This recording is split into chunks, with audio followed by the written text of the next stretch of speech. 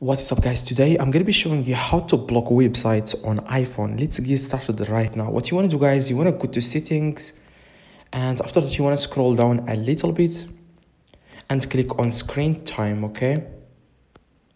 After you click on screen time, you have to, to click on turn on screen time. And after that you want to click at the very bottom continue and then click this is my iphone. If that's your iphone if it's your kids' iphone you can select the second option but if it's your iphone you have to select this this is my iphone. And after that you wanna just scroll down a little bit and click on use screen time passcode. As you can see here click on use screen time passcode. And then here select the passcode that make sure to remember this passcode. It's four uh, numbers. Uh, if this pops up you want to click cancel and then click skip skip. If it doesn't pop up that's good. Just uh, continue doing the, this.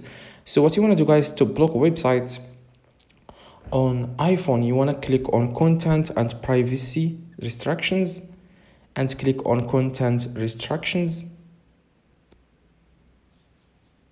just enter the passcode. After that what you want to do guys to block websites you want to click on web content as you can see here.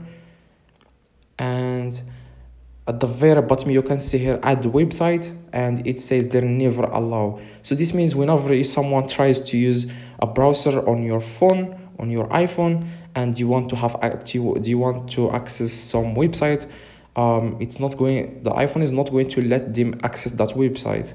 So just click add website and then for example i'm going to add facebook.com then click done and that's all you need to do. For example if i tried now to use facebook.com uh, they are not, the iphone is not going to, to let me use that. But if you want to remove that restriction and you want um, you want to use again uh, that website you can go to the same steps okay? The same steps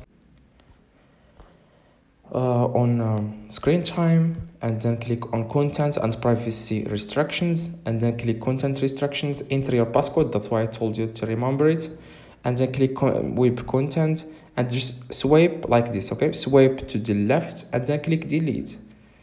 Now you can have access uh, to that website. I hope this video helped you. If it does please drop a like and subscribe. See you guys in the next video